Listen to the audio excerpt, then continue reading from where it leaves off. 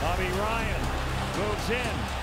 Karlsson out in front. He scores! Erik Karlsson For the first time since 2007, the Ottawa Senators are on their way to the Eastern Conference Final.